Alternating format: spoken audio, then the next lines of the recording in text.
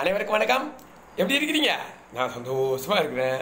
நீங்களும் சந்தோஷமாக இருந்து தான் ஆகணும். சந்தோஷமாக இருக்க வரைக்கும் நான் விட போகிறதில்ல உங்களுக்கு சந்தோஷத்தை கொடுத்து தான் ஆகணும். இப்போது இருபத்தி ரெண்டு நாலு ரெண்டாயிரத்தி இருபது பதினஞ்சு அதாவது மூன்று மணி இருபத்தி ஆறு நிமிடம். இப்போது வள்ளலார் கூறிய பாவங்களை நாலாவது பகுதியாக நாம் முப்பத்தி ஏழு முடித்திருக்கிறோம். முப்பத்தி எட்டிலிருந்து பார்ப்போம். அப்போது உண்மை வாய்மை மெய்மை. அற வழி நடப்போம். நம் உடம்பில் இருக்கும் இறைவர் நிச்சயமாக இந்த பிறவிலே நம்முடன் பேசுவார். நாம் அதற்கு மகான்கள் சொன்ன வழிகளில் நாம் நடந்து அவைகளை பின்பற்றுவோமேயானால் அப்படி பார்க்கும்போது இந்த உலகில் சமீப காலத்தில் வாழ்ந்த வள்ளலார் அவர்கள் நாற்பத்தி நாலே நாற்பத்தி நாலு பாவங்களை சொல்லி இதை தயவு செய்து செய்யாதீர்கள் என்று கூறுகிறார். அப்போ அந்த நாற்பத்தி நாலு பாவங்களில் நம்ம ஏதாவது செஞ்சுட்டு இருக்கோமா அப்படின்றது நீங்களே பாருங்களேன். அப்போது முப்பத்தி ஏழு பாவங்கள் நம்ம சொல்லி முடிச்சிருக்கிறேன். இப்போ இது வந்து கொஞ்சம் விளக்கமாக இன்னும் நான் அடுத்த epi- ஒரு வரும் எபிசோடுகளில் ஒரு ஒரு பாவத்துக்குமே நான் விளக்கம் கொடுக்குறேன். இப்போ நீங்கள் செய்ய வேண்டியது என்ன அப்படின்னு கேட்டிங்கன்னா இதை எப்படி நம்ம சரி பண்ணலாம் அப்படின்ட்டு பார்ப்போம்.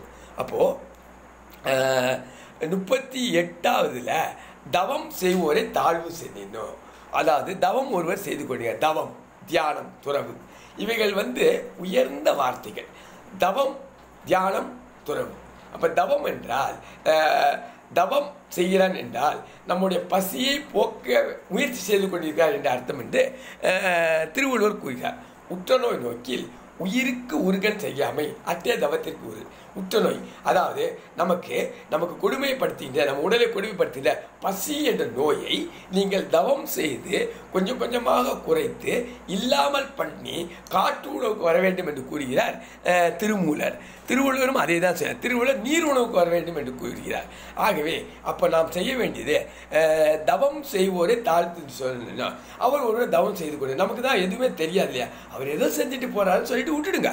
நீங்கள் அதுக்கு பக்கத்தில் போய் நீ இப்படி தவம் செய்ய தப்பு அப்படி தவம் செய்ய தப்பு அதெல்லாம் நான் சொல்ல வேண்டிய அவசியமே இல்லை. அவர் கேட்டால் சொல்லுங்க. ஆனால் உங்களுக்கே தெரியாது இல்லையா? அப்போ அவர்கிட்ட நீங்கள் ஒன்றும் சொல்ல வேண்டிய அவசியமே இல்லை. அவரே தவம் செய்து கொண்டிருக்கிறார். அப்போ தவம் செய்வோரை தாழ்வு சொன்னீனோ அப்போ அந்த தவ நிலையை நீங்கள் குறைத்து தயவு செய்து மதிப்பிடாதீர்கள். அப்படி என்று வள்ளலார் சொல்கிறார்.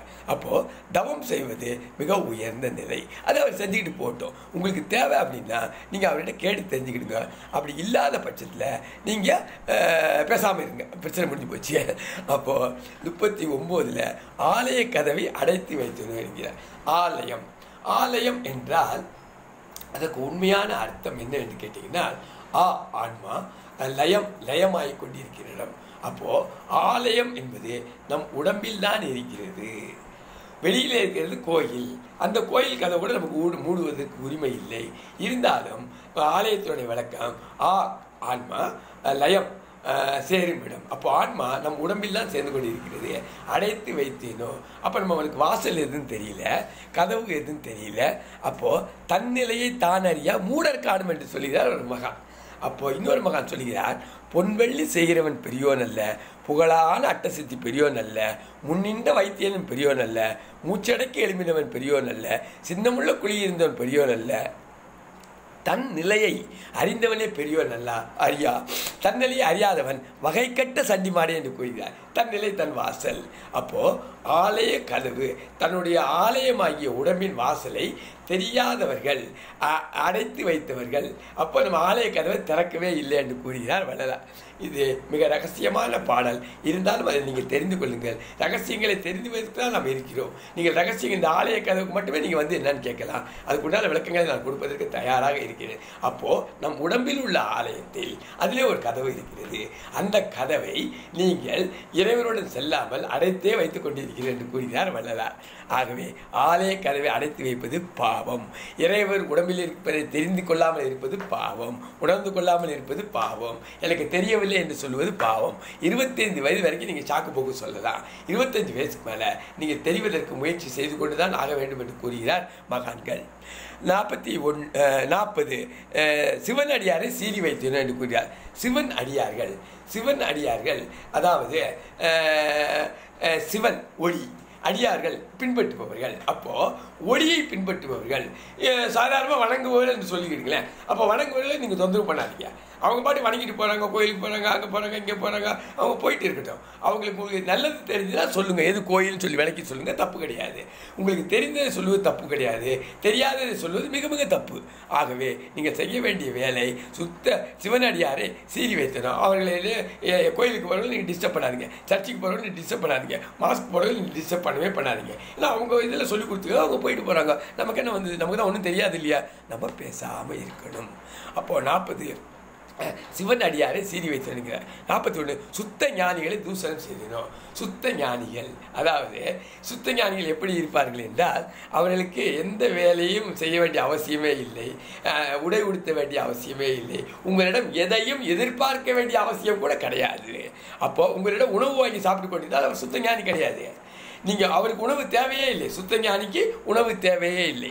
சுத்த ஞானிகளை பற்றிய விளக்கங்களை நான் தனியாக உங்களுக்கு விளக்குகிறேன். அதுக்கு ஒரு தனி இருக்கிறது. அப்போது பொதுவாக வந்து ஞானிகள் என்று நீங்கள் தெரிந்து கொண்டீர்கள் அவர்களை ஒன்றும் சொல்லாதீர்கள்.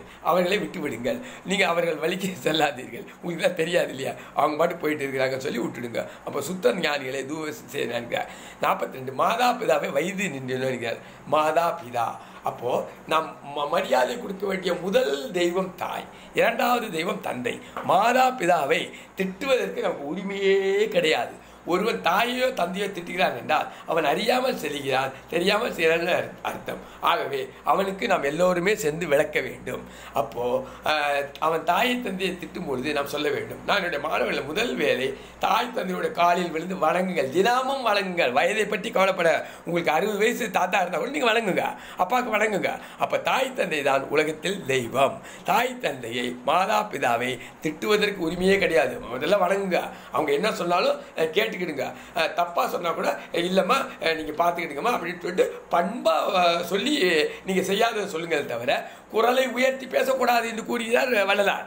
அப்போ நீங்கள் மாதா பிதாவை வாழும் கடவுள்களாக தெய்வங்களாக உயர்நிலையில் உள்ளவர்களாக சித்தர்களாக மகான்களாக நீங்கள் மதித்து தான் ஆக வேண்டும். என்றால் உங்களுடைய தாய் தந்தை. அப்போ மாதா பிதாவை வயது நின்றேனோ நாற்பத்தி மூணு தந்தை தாய் மொழியை தள்ளி நடந்தேனோ அப்போ தாய் தந்தை ஒரு நிலையை உங்களுக்கு சொல்லுகிறார்கள். அதை தயவு செய்து நிச்சயமாக நீங்கள் பின்பற்ற முயற்சி செய்யுங்கள். ஏனென்றால் அந்த நிலை தான் மிக மிக உயர்ந்த நிலை. அவர்களுக்கு தெரியாத இல்லை நம்ம பெற்றவர்கள் அவர்கள். நாம் எப்படி இருக்க வேண்டும் இல்லை அப்போது உங்களுக்கு ஒரு கருத்து இருந்தால் கூட அவர்களை எதிர்த்து பேசாமல் பண்புடன் பணிவுடன் நீங்கள் அவர்களை சொல்லி அவர்களை ஏற்றுக்கொள்ளும்படியே நீங்கள் வைக்க வேண்டும். அதுதான் உங்களுடைய திறமை. அதுதான் உங்களுடைய பண் அறிவு. அதுதான் உங்களுடைய உயர்நிலை. அதை விட்டுவிட்டு சண்டை போடுவதோ தாயை தந்தையை எதிர்த்து பேசுவதோ தாய் தந்தையை மதிக்காமல் இருப்பதோ மிக மிக பெரிய பாவம் என்று வள்ளலார் கூறுகிறார். வள்ளலார் கூறுவது எல்லா மகான்களுமே கூறுகிறார்கள். அப்போது நாம் செய்ய வேண்டிய வேலை தாய் தந்தையை எந்த காரணத்தை கொண்டும் நாம் அவர்கள் நம்முடன் தான் இருக்க வேண்டும். அவர்கள் நம்மை விட்டு பிரிய வைக்கவே அவர்கள் உயிர் போகும் வரை நம்முடன் தான் இருக்க வேண்டும். அதை தான் நீங்கள் செய்ய வேண்டும். அந்த பாக்கியத்தை நீங்கள் பெற்றுக்கொள்ளுங்கள். நிச்சயமாக உங்களுக்கு ஒரு நல்வழி கிடைக்கும். நாற்பத்தி நாலு இறுதியாக தெய்வத்தை இக இகழ்ந்து செருக்கடைந்தேன் என்று கூறியார்கள் தெய்வம் உங்களுக்கு தெரியவே தெரியாது. கடவுள் உங்களுக்கு தெரியவே தெரியாது. நீங்கள் கடவுள் மறுப்பாளர்களாக இருக்கலாம். இருக்கிறாரோ இல்லையோ நீங்கள் அதை பற்றி அவர்களை திட்ட வேண்டாம். அதாவது கடவுளை நீங்கள் திட்ட வேண்டாம். அப்போது உங்களுக்கு தெரியாது இல்லையா? இருக்கா இல்லையான்ட்டு. அப்போ எனக்கு தெரியாதுன்னு சொல்லிடுங்க. இல்லைன்னு நீங்கள் தயவு செய்து சொல்லாதீங்க. அப்போது கடவுள் இருக்கிறாரா இல்லையா? எனக்கு தெரியாது அப்படின்னு சொல்லுங்கள் இல்லை அப்படின்னா நீங்கள் ப்ரூவ் பண்ணணும். அப்போ எப்போ ப்ரூவ் பண்ண முடியலையோ நீங்கள் ப்ரூவ் பண்ண வேண்டிய அவசியமே இல்லை. நீங்கள் விளையிடுங்கன்னு சொல்ல வரேன் நான். அப்போது பெரியாரை வந்து ஒரு நிருபர் போய் கேட்டு கே கேட்கிறாரு நீங்கள் கடவுள் இல்லை இல்லைன்னு சொல்லிக்கிட்டே இருக்கிறீங்களா ஐயா. திடீர்னு வந்துட்டாருன்னா என்னங்கய்யா செய்வீங்க அப்படின்னு கேட்கும்போது அவர் சொல்கிறாரு இருக்காருன்னு சொல்லிட்டு போனேன். அப்போ அதுதான் உண்மையான மறுப்பு. அப்போது நீங்கள் மறுப்பதாக இருந்தாலும் உண்மையுடன் சேர்த்து கொள்ளுங்கள். இருந்தாலும் அந்த கடவுள் இல்லை என்று மறுத்து மறுக்கவே கூடாது. எனக்கு தெரியவில்லை என்று தான் சொல்ல வேண்டும். அப்போது கடவுள் மறுப்பு என்பது மிகப்பெரிய பாவம் என்று வள்ளலார் சொல்லுகிறார் அப்போது நாம் செய்ய வேண்டியது ஒன்று நமக்கு தெரியவில்லை என்றால் நாம் சொல்ல வேண்டியது எனக்கு தெரியாது. அப்போது பெர்னாட்ஸா சொன்ன மாதிரி தெரிந்ததை மட்டும் ஒருவர் பேசுவானாகில் இந்த உலகில் சண்டை சச்சரவு வரப்போகிறதே இல்லை என்கிறார். உங்களுக்கு தெரிஞ்சால் சொல்லுங்க இல்லை எனக்கு தெரியாதுன்னு சொல்லுங்க. எங்கள் அம்மா சொல்லியிருக்காங்க அப்பா சொல்லியிருக்காங்க தாத்தா சொல்லியிருக்காங்க கேட்டிருக்கேன். முழுமையாக எனக்கு தெரியாது அப்படின்னு சொல்லுங்க. அதை விட்டு போட்டு இதுதான் முழுமை அப்படின்ற ஒரு நிலைக்கு நீங்கள் வராது இது முழுமையாக இருக்கலாம் என்று சொல்லுங்களே தவிர இதுதான் முழுமை என்ற நிலைக்கு நிச்சயமாக வர வராதீர்கள். ஆகவே வள்ளலார் அவர்கள் நாற்பத்தி நாலு பாவங்களை சொல்லியிருக்கிறார். நான் இப்பொழுது அதை மொத்தமாக எடுத்திருக்கிறேன் இதில் ஒரு ஒரு பாவத்தையும் நான் மிகவும் நேரம் கிடைக்கும் போது உங்களுக்கு விளக்க நினைக்கிறேன். இதுவரை இதை பின்பற்றுவதற்கு முயற்சி பண்ணுங்கள். அதுதான் நாம் கேட்கிறோமோ? நிச்சயமாக பின்பற்ற வேண்டும். பின்பற்றும் போது தான் நமக்கு சந்தோஷம் கிடைக்கிறது மகிழ்ச்சி கிடைக்கிறது நிம்மதி கிடைக்கிறது நிறைவு கிடைக்கிறது திருப்தி கிடைக்கிறது. இந்த வாழ்க்கையை நாம் சந்தோஷமாக அனுபவிக்க முடியும் துன்பங்களை விளக்க முடியும் துன்பங்களை இல்லாத நிலையை கொண்டு வர முடியும். அந்த நிலையை கொண்டு வருவதற்கு நாம் தான் முயற்சி செய்ய வேண்டும். கோபங்கள் அற்ற நிலை. அப்போ கோபத்தை விடுவதற்கு இந்த நாற்பத்தி நாலு பாவங்களையும் நீங்கள் தெரிந்து கொண்டு அந்த பாவங்களை செய்யாமல் இருப்பீர்களானால் நிச்சயமாக கோபம் உங்களிடமிருந்து போகும் என்று உறுதியாக சொல்கிறேன் மீண்டும் அடுத்த பகுதியை சந்திப்போம். நன்றி வணக்கம். உலக மக்கள் அனைவருக்கும் மீண்டும் நன்றியை தெரிவித்துக் கொண்டு விடைபெறுகிறேன். நன்றி வணக்கம்.